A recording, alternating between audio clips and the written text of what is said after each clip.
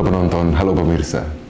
Terima kasih sudah mengklik channel ini, segmen terbaru dari Korigor Channel, yaitu Korsi Panas.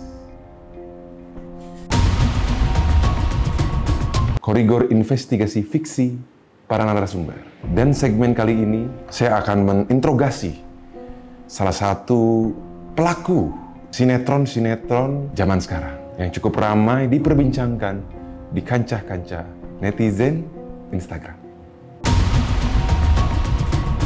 Yaitu para kreator sinetron azab.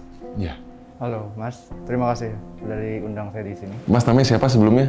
Saya namanya Alex. Alex. Terima kasih Mas Alex uh, sudah datang di segmen pertama, konten pertama saya. Ini emang syutingnya di dapur gini Mas ya? Syutingnya di dapur karena memang saya pengen pengen tahu dapur dari uh, Mas siapa tadi namanya? Uh, Alex, Alex Francesco Mokondo. Alex Francesco Mokondo, sang kreator. Azan. Maaf ya. Sebelumnya bisa tepuk tangan? Mas, ini kan kita cuma berdua. Oh, oh, oh iya, iya, maaf, maaf. Ya, maaf. Nah, ya. kameramen satu bertiga gitu. Oh iya, maaf. Ya, maaf ya. Oke, kita mulai saja kali ya. Oh, boleh, boleh. Wawancara. Iya. Banyak sekali, eh, aduh jatuh kan jadinya. Aduh kelihatan kan saya nggak punya cue card ya. Emang episode perdana ini banyak miss. Oh, banyak nih. Banyak cewek berarti. Oh iya ya. Banyak miss ya. Kebetulan sih memang eh, nggak ada sih ya di sini. Cuman pengen. Pengen gitu. Kita balik lagi ke Azab. Banyak banget yang request ke saya dan mempertanyakan hal. Kenapa eh, Anda ini sebagai produser apa ya? Saya di- bisa dibilang sih praktisi yang tidak praktis, Mas. Praktisi yang tidak praktis. Di skena sinetron Azab ini saya Di bisa Mau penonton jatuh juga kan? Jadi kelihatan ikut saya. Iya, di skena Azab ini ya bisa dibilang saya praktisi lah. Praktisi ya. Tidak praktis kebetulan.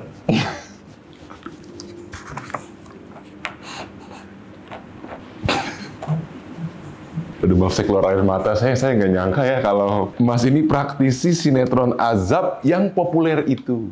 Iya. Dan mau datang ke tempat saya. Ya, saya sih sharing-sharing aja lah.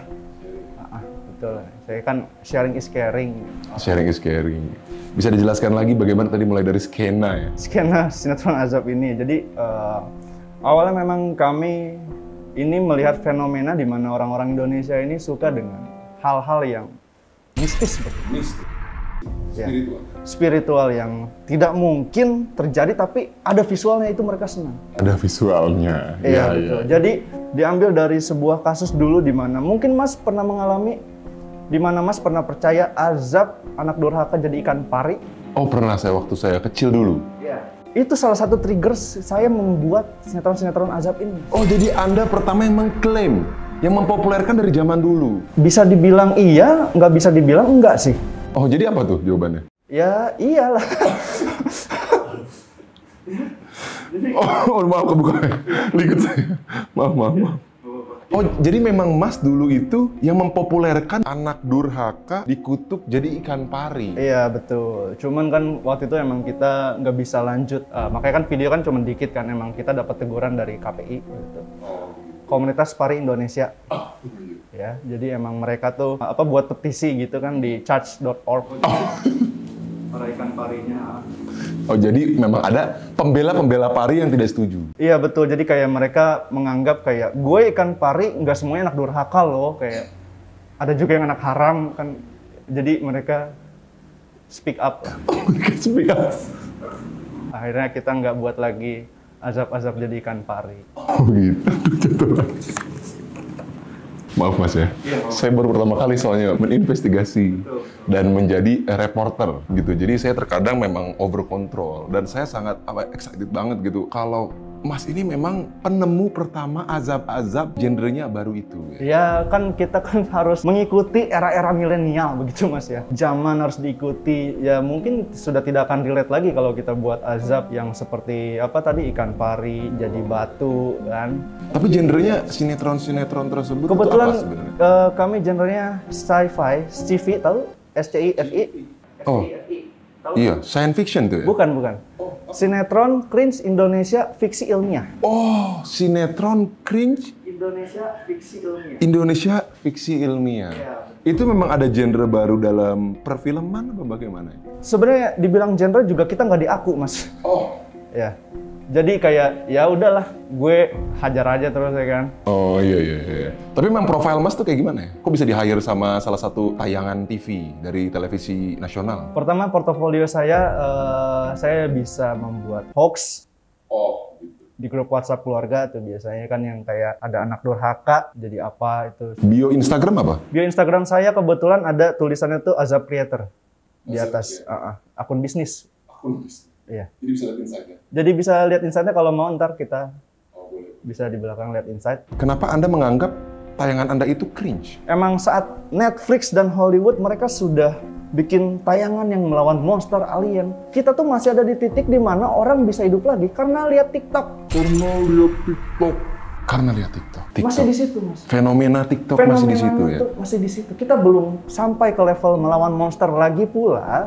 Kalaupun ingin melawan monster atau alien, topiknya nggak akan relate sama azab. Karena kan azab kan biasanya cenderung melawan orang tua. Oh betul banget ya. Emang sudah berapa lama Mas terjun di dunia ini? Seserius ini sampai tayangan nasional? Sekitar 8 atau 9 kali. ya. Tahun? Hari. Hari? Yang penting lebih seminggu lah ya. Iya, betul. Iya, iya. Historikalnya sudah panjang. Historikalnya sudah panjang, kami sudah syuting beberapa judul dan upcoming project pun nanti kita ada mau bikin yang baru ya. Eh, itu kalau salah judulnya kemarin eh, Azab SJW kejam mati tertimpa head comment. Oh, SJW kejam, mati tertimpa hate comment. Hmm. Eh, sebelum lanjut kita eh, break dulu setelah pesan-pesan berikut ini. Oke, balik lagi. Ada judul sinetron Azab Tertimpa Meteor.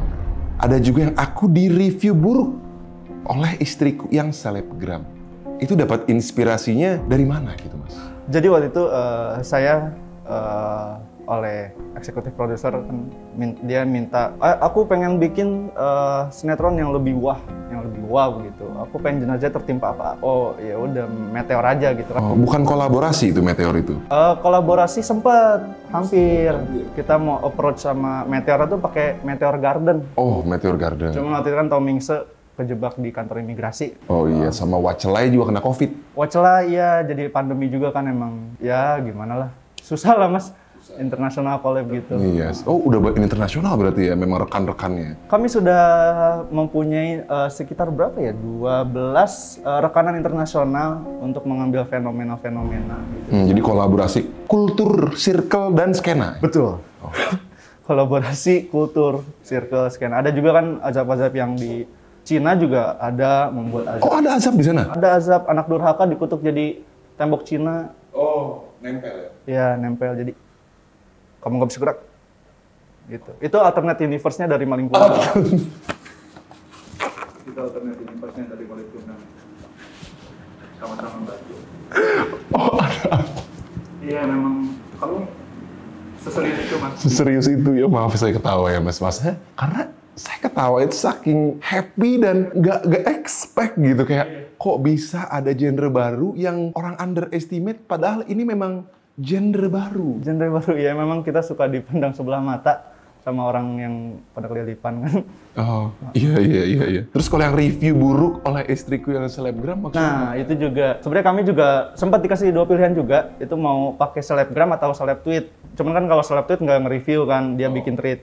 Nah, cuman kata saya enggak lah, jangan seleb tweet lah, pada pada spill the tea terus, pada rese. Mending selebgram aja lah. Re- aku di review buruk oleh istriku yang selebgram. Ya sebenarnya juga review nggak buruk-buruk banget sih mas.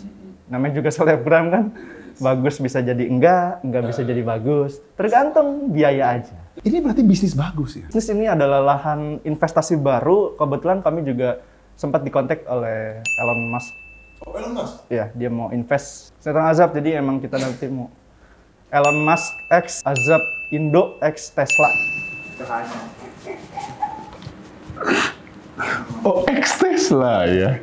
Dia lebih ke listrik ya? listrik. Iya, iya, iya. Digital banget kan ya? Anaknya digital banget. Berarti tapi bakal ada kayak kultur azab tapi berhubungan dengan masa depan berarti dong? Iya, eh, kita mau ambil konsep eh, namanya tuh kemarin sempat meeting tuh eh, Ano gitu kalau nggak salah. Azab Tekno. Oh, azab tekno. Iya, jadi kayak liang lahatnya tuh ada muncul-muncul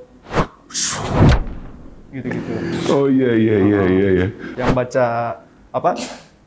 Apa tuh namanya? Eh si Liang Lahat tuh ada tulisan kan nama tuh. Oh iya dia. Papan nisannya Papan nisannya ada layar LCD. ada LCD di situ.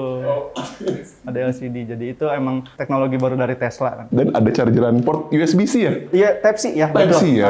Ah, ambulans saya pun pakai mobil Tesla ntar. Oh, ambulannya pakai Tesla. Ya cuman kita kan lagi itu bener pandemi biasa lah mas. Iya sih paham Lagi sih. pandemi ya. Iya iya iya iya iya. Doain aja ya teman-teman, semoga nanti berhasil. Amin amin amin amin amin. Kan sekarang Mas nih orang di belakang layar. Ada nggak sih kira-kira kayak iming-iming jadi artis jadi di depan layar? Karena saya pikir sekarang saya ingin menginvestasikan uang saya di sinetron azab karena lebih nasional. Iya mas, betul. Jadi ini mah pengalaman saya aja mas ya. Jadi emang di industri ini pun tidak semuanya orang baik kayak aku tuh dari Garut aslinya kan eh, emang ya fokus aja gitu di sawah sama mama sama abah. Ada tisu nggak sih maaf? Bentar eh, kita lanjutkan lagi nanti setelah pesan-pesan berikut ini.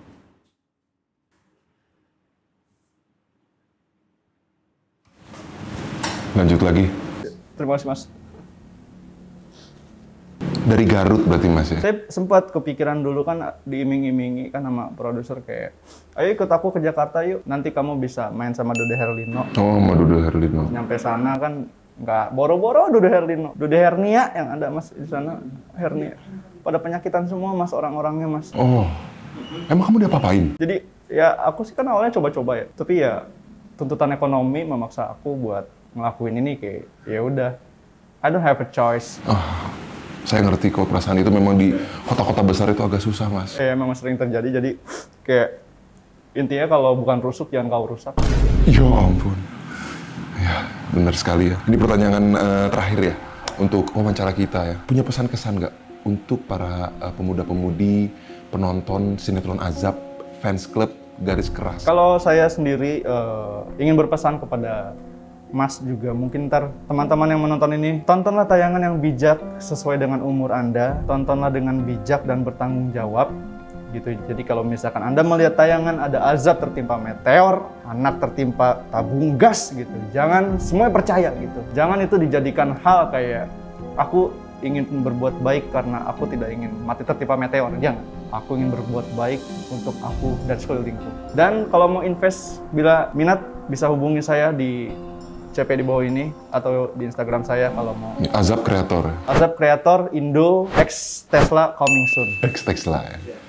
USB-C. Type C, USB, papan nisan LCD. Semua sudah siapkan. Aduh maaf saya jatuh mulu. Saya mungkin boleh menginvestasikan akhirnya nanti ya. Makasih ya Mas eh, sudah memberikan pandangan baru kepada manusia yang seperti saya. Yang saya akhirnya wow sinetron azab adalah new business. New business is the new generation of a visual on the TV. Oke, berarti motonya sinetron azab Sinetron azab itu tak lekang oleh waktu.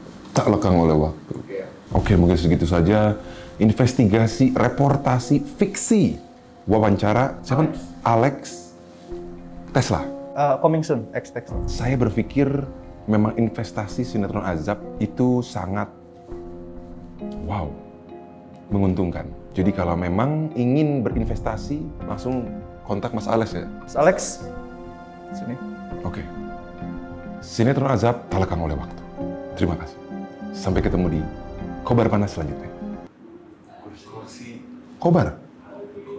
Oh salah ya, bukan Kobar. Kursi panas selanjutnya.